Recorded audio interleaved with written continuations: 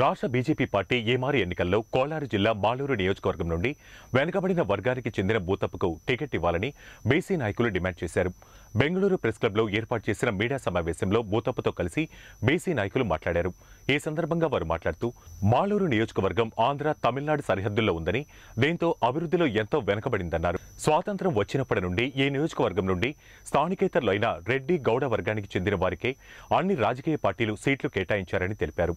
ఈ రెండు సామాజిక వర్గాల వారే ఈ ప్రాంతం నుండి ఎన్నికయ్యారని తాము ఆర్థికంగా ఎదగడానికి ఎమ్మెల్యే పదవులను ఉపయోగించుకున్నారే తప్ప నియోజకవర్గ అభివృద్ధికి ఏమాత్రం చేసింది లేదన్నారు. ఈసారి ఎలాగైనా బీజేపీ పార్టీ భూతప్పకు సీట్ కేటాయిస్తే వెనుకబడిన సామాజిక వర్గాలు అత్యధికంగా ఉన్న ఈ నియోజకవర్గం నుండి ఆయనను గెలిపించుకుంటామని హామీ ఇచ్చారు. బీజేపీ సీట్ ఆశిస్తున్న భూతప్ప మాట్లాడుతూ ఈ నియోజకవర్గం అన్ని రంగాల్లో వెనుకబడిందని తాను ఎన్నికైతే స్థానికంగా ఉన్న తాగునీటి సమస్యతో పాటు విద్య వైద్య రంగాల అభివృద్ధికి ప్రాధాన్యత కల్పిస్తానన్నారు.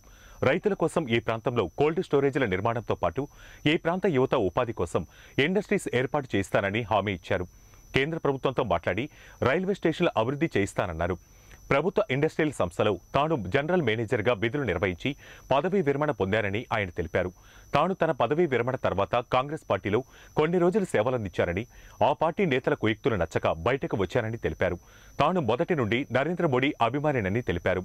స్థానికంగా ఉండే పలు ప్రభుత్వ పాఠశాలల్లో టాయిలెట్స్ నిర్మాణానికి తన సొంత నిధులు వెచ్చించారని ఆయన ఈ సందర్భంగా గుర్తు చేశారు.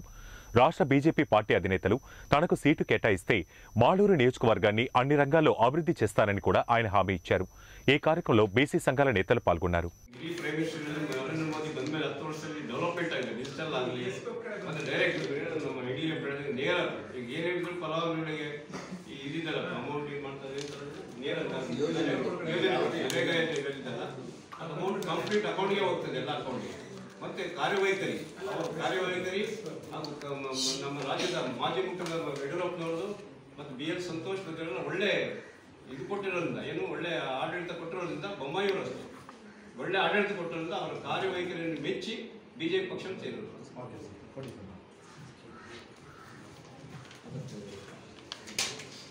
ನನ್ನ ಹೆಸರು ಆಲಮ ಚಂದ್ರೇಗೌಡ ಅಂತೇಳಿ. ನೀವು ನಿವೃತ್ತ ಉಪಾಧ್ಯಾಯ ಬಿ ಮುನಿಯಪ್ಪನವ್ರ ಮಗ ರಾಜನಹಳ್ಳಿ ಇರೋದು ಶಿವರಪಟ್ಟಣ ಪಂಚಾಯತಿ ಹದಿನಾರು ಶಾಲೆಯಲ್ಲಿ. ನಾನು ಕಾಂಗ್ರೆಸ್ ಕಾರ್ಯಕರ್ತನಾಗಿದ್ದೆ.